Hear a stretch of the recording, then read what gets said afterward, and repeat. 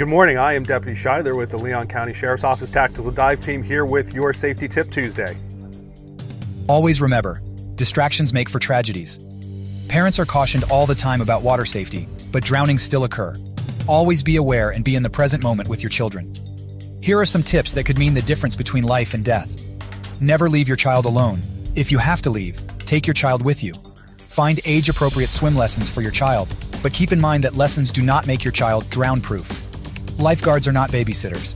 Always keep your eyes on your child. Do not let children play around drains and suction fittings. And, if a child is missing, always check the water first. Every pool, every lake, and every warm summer day holds the possibility of new fun summer experiences. All you need to add is your undivided attention. And that's your Safety Tip Tuesday. Have a great day.